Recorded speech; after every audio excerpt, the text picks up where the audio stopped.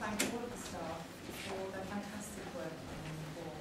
As Maeve mentioned, um, we're producing more work, there's more demand on the service uh, with, with less resources.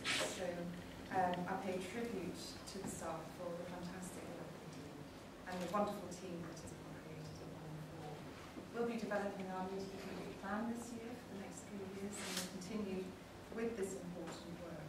Um, so uh,